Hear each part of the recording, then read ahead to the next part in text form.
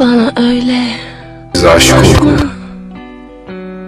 Duydum ne yaptınız?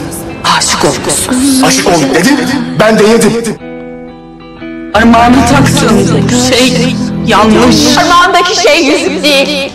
İlmek. Ben o kıza aşık falan değilsin, sensin. Ben yapacağımı yapmışsın. Ama bana değil. Bana öyle yaklaşma Bana öyle dokunma. İkimize karşı bu dünya